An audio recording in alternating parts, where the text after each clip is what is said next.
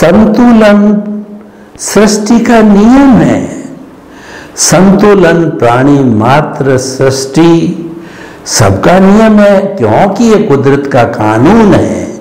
जो ही संतुलन बिगड़ा, सावधानी हटी, दुर्घटना घटी, ये जितनी भी हमारी प्राकृतिक विपदाएँ आती है, अतिवृष्टि, अनावृष्टि, सुनामी, भूकंप महामारी, इन सब का कारण यह है कि जो है, प्रकृति का संतुलन बिगड़ गया।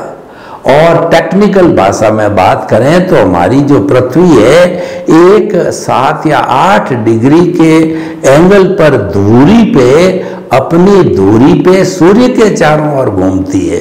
ठीक इसी तरह से चंद्रमा जो है, वो पृथ्वी के चारों तरफ़ घूमता है।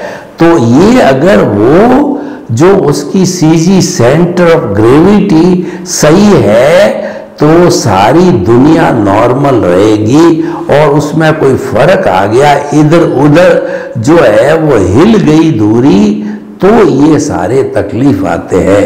तो संतुलन हर जगह चाहिए माता पिता के साथ में व्यवहार अच्छा करना, ये संतुलन है। पत्नी के साथ में दुर्व्यवहार न करना, ये संतुलन है। आमदनी से अधिक खर्च न करना, ये संतुलन है। किसी प्राणी को दुख न देना, कष्ट न देना, एक संतुलन है। संतुलन एक संयम है।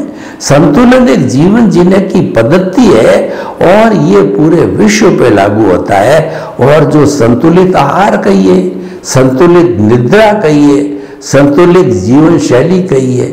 सब चीज़ संतुलन पे आधार होती है।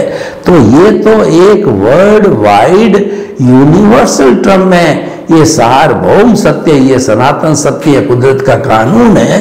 ये सबको पालन करना चाहिए।